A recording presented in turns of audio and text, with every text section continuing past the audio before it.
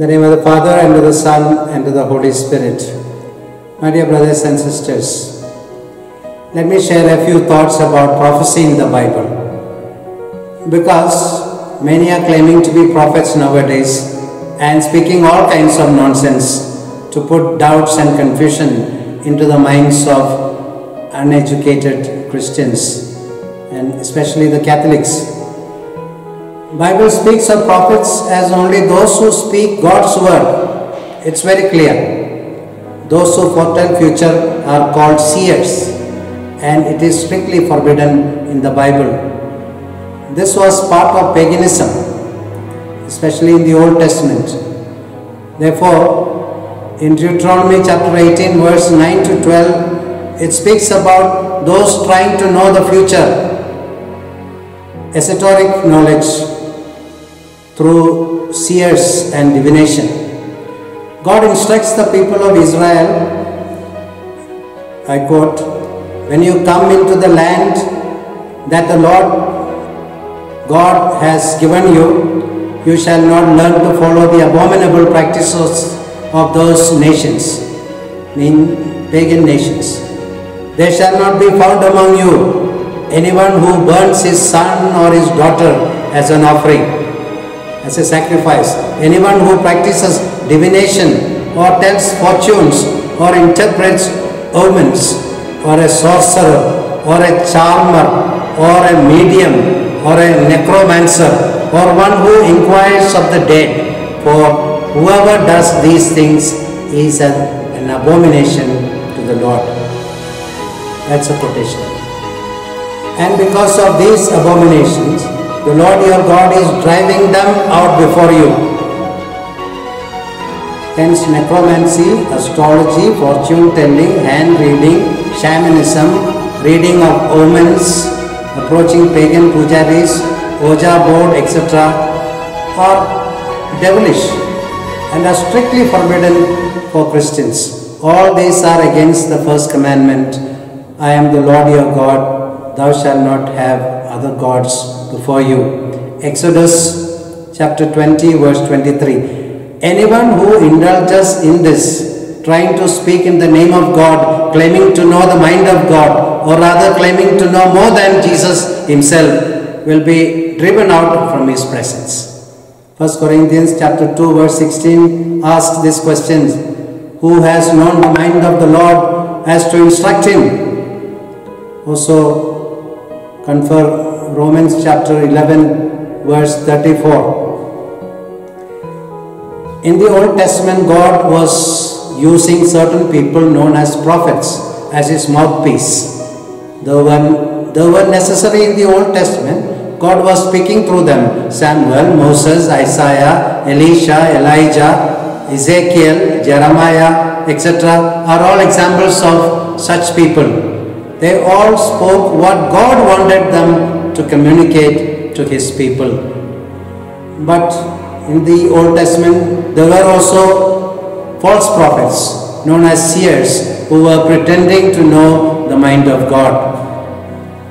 For example, after the death of Samuel, King Saul, who had sinned against God, went to seek out false prophets to know the will of God regarding him. He went in search of a witch who could bring back the dead and listen to them. Uh, later on, you can see how Prophet Elijah, Elijah too was strong against these kind of false prophets and he put them to death. More than 500 of these false prophets. If you can read, for example, 1 Kings 18 20 to 40, and how he dealt with false prophets in chapter 22 of First Kings. It's very uh, revealing. All the prophets of the Old Testament, including John the Baptist, spoke about the final prophet of God, Jesus. There are more than 300 of these prophecies in the Old Testament. For example, Genesis 28, verse 14, and his correspondence in Luke chapter 3, verse 14 in the New Testament, 2 Samuel chapter 2, verse 7, 12 to 13 and his correspondence in uh, Matthew chapter 1 verse 1, in Isaiah chapter 7 verse 14 and uh, chapter 40 verse 3 to 4 and his correspondence in Luke chapter 1 verse 70 to 76 etc. In the last quotation, John the Baptist becomes the last of the prophets of the Most High, that is Jesus, in Luke chapter 1, verse 70 and 76. Therefore, John the Baptist is the final prophet, let's say, in the Old Testament.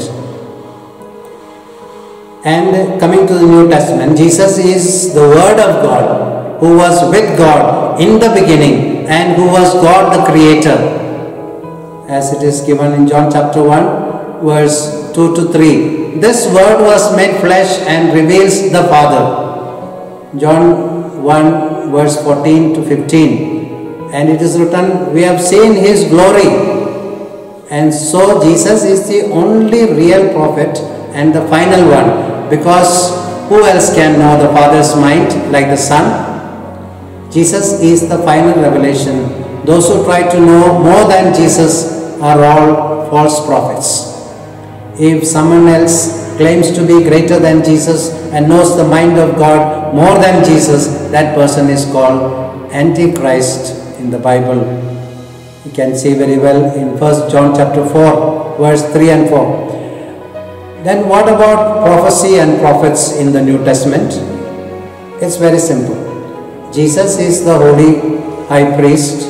Jesus is the only prophet Jesus is the only real king in the uniquest, if we can use that word, in the unique sense. But every Christian are called to be a royal priesthood, a holy nation, set apart to sing the praises of God. As we read in 1 Peter chapter 2. Each of us is called to share in the ministry of Christ, to be a prophet and a sharer of his message. The charismatic gift of prophecy is only to proclaim the word of God and to build up the body of Christ.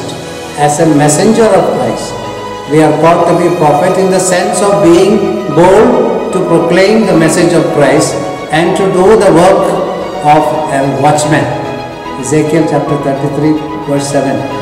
We are a watchman of God's word. The revelation in Christ is total and complete. Woe to the one who adds to the prophecy in the Bible or takes away anything from it.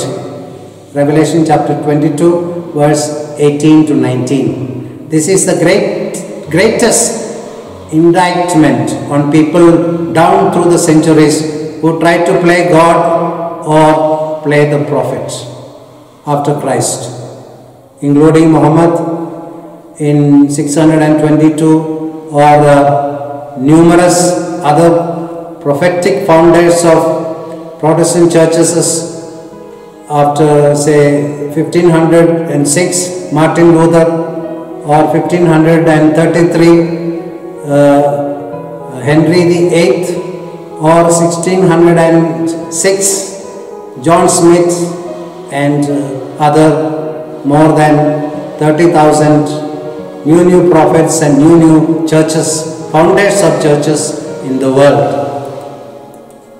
If this was not true, then Jesus coming into the world would be useless or redundant. He is the only Savior and final prophet, or he will be the greatest fake or hoax in history.